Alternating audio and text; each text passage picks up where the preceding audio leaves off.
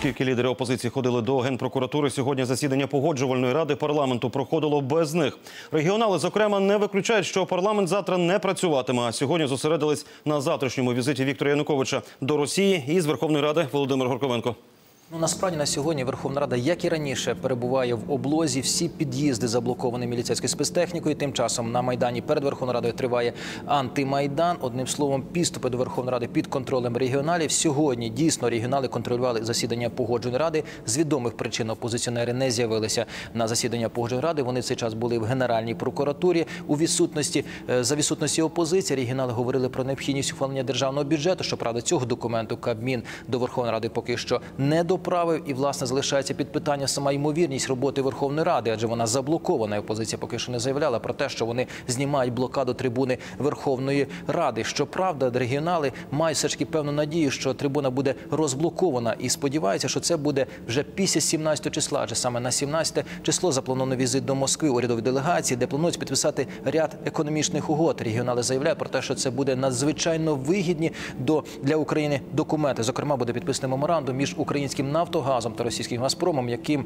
фактично буде зменшено вартість російського газу для України на наступний рік. Володимир Рибак залишається великим оптимістом і вважає, що як тільки опозиція побачить, наскільки вигідні документи Азаров підписав у Москві, вона одразу гнів змінить на милість.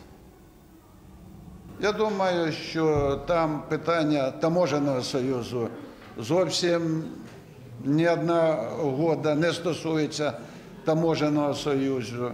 Я думаю, е, керівники опозиції все побачать і думаю, що на цьому тижні е, парламент буде працювати.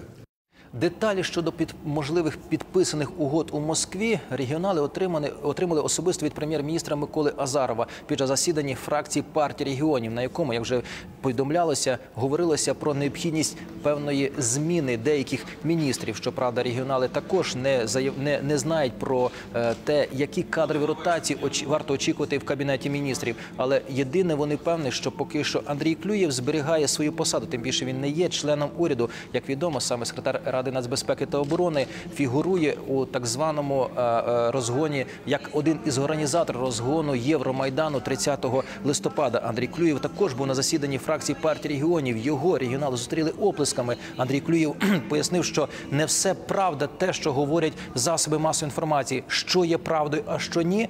Е, Регіонали регіонали в Андрія Клюєва не питали. Принаймні так журналістам розповів Олександр Єфремов. Отношение к нему во фракции очень хорошее. И когда Клюев сегодня появился во фракции, его- встретили аплодисментами. Клюев в в- своем выступлении сказал, что то, что э, преподносится средством массовой информации, во многом не соответствует действительности.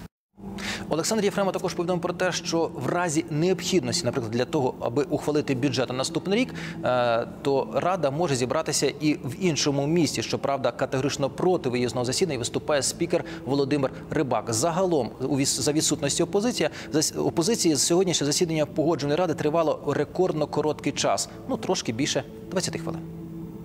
З нами був Володимир Горковенко.